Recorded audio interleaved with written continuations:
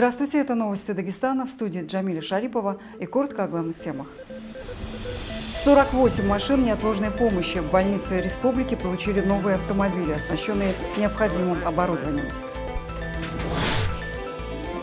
Массовое отравление в Махачкалинском кафе. Пока что 40 человек. Роспотребнадзор и прокуратура ведут проверки. Копал, копал и раскопал. В Хунзахском районе мужчина нашел предметы средних веков. Массовое отравление произошло в одном из кафе в Махачкале. По предварительным данным, посетители Казан-Кебаба отравились шаурмой. Пока выявлено около 40 человек, среди которых 12 детей. Управлением Роспотребнадзора совместно с Республиканской прокуратурой на месте проводится внеплановая проверка. Выявлены многочисленные нарушения требований санитарного законодательства. Работа кафе приостановлена. Напомним, массовое отравление в Махачкале случилось и в минувшем месяце. С 8 по 11 октября было зарегистрировано 75 случаев заболевания острой кишечной инфекцией, 57 из которых – это воспитанники детских садов. 48 новых машин неотложной помощи переданы в медучреждения республики. Автомобили приобретены за счет средств республиканского бюджета и являются универсальными. Они оборудованы тележками-каталками со съемными носилками, что позволяет перевозить лежачих больных. Закупка нового автотранспорта, по словам министра здравоохранения Джамалдина Гаджи Ибрагимова, позволит увеличить объемы оказываемой медпомощи на амбулаторном этапе. Всего же в этом году регион получил 73 автомобиля для оказания неотложной помощи пациентам. Поставок в таких объемах в регионе не было никогда. Э, мы закупили за счет регионального бюджета на сумму 52 миллиона. 17 э, автомобилей, из них 14 Б-класса и 3 автомашины класса С. Помимо этого, то, что вы сегодня видите, закуплены на общую сумму 56 миллионов 64 э, транспортные единицы для оказания неотложной медицинской помощи. И э, данные э, машины сегодня же уедут по районам, городам э, нашей республики и помогут нашим коллегам в оказании амбулаторной поликлинической помощи.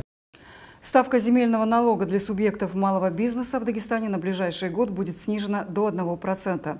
Эта тема обсуждалась премьер-министром Дагестана Артемом Сдуновым на заседании оперативного штаба по развитию экономики и социальной сферы в условиях пандемии коронавируса. В ходе мероприятия депутат Народного собрания Республики Муса Мощелиев подчеркнул, что снижение земельного налога окажет ощутимую помощь предпринимателям, позволит сохранить предприятие, тем самым и налоговую отдачу. Премьерам было дано поручение Минэкономразвития подготовить и внести проект нормативного акта о снижении налоговой ставки земельного налога до 1%. На заседании оперштаба по обеспечению устойчивого развития экономики министр промышленности Батыр Имеев призвал не штрафовать магазины за отказ покупателей носить маски.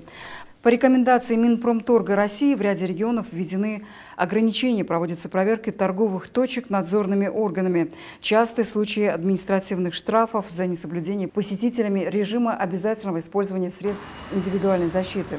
Поэтому Минпромторг Дагестана предлагает правоохранительным и надзорным органам применять наказание не в отношении руководства магазинов, а самих покупателей, нарушающих режим защиты.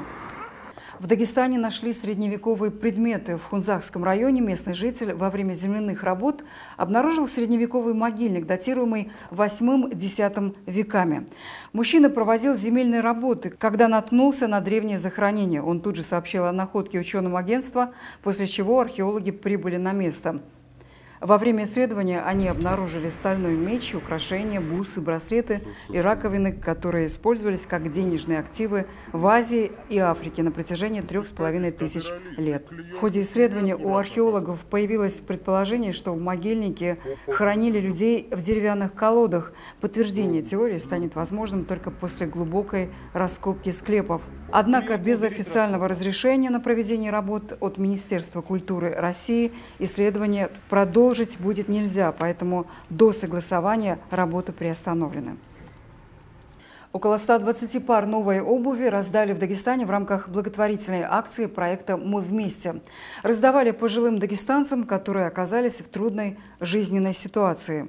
Обувь предоставили цеха из Махачкалы и селения Дучи Навалакского района. Стоимость общего объема представленной продукции составила около 200 тысяч рублей. Организатором акции выступил благотворительный фонд «Вместе сможем». По словам представителя фонда Давуда Амирова, подарки стали неожиданным сюрпризом для пожилых дагестанцев. В гуманитарно-педагогическом колледже Махачкалы состоялся молодежный форум межконфессионального клуба «Дружный Кавказ». В мероприятии приняли участие гости из разных субъектов Северного Кавказа, как представители религиозных организаций, так и общественных. Выступающие из трибуны эксперты говорили об укреплении межконфессиональных и межнациональных отношений, а также затронули тему профилактики экстремизма и терроризма в молодежной среде. Организатором этого форума выступил муфтия Дагестана. Целью данного мероприятия рассказать подрастающему поколению о том, э, с точки зрения каждой конфессии, как религия призывает относиться к окружающим людям, независимо от, от их национальной или конфессиональной принадлежности. Что такое уважение друг к другу, независимо от мнения, мировоззрения человека, чтобы мы мирно сосуществовали, чтобы мы не просто э, терпели друг друга, да, живя на одной родине, чтобы мы знали, что такое доброе соседство, хорошее, теплое отношение к другим людям, поддержка в трудную минуту и сопереживание. К сожалению, терроризм и экстремизм, который заполонил мир, он сегодня как бы вроде бы ушел физически но присутствует еще в умах нашей молодежи через интернет-сети. И вот здесь э, нужно проводить большую работу. Э, это проводится и всеми духовными управлениями. Машалла, очень хороший опыт э, можно перенять у Духовного управления Дагестана. Они очень часто выкладывают разного рода видео.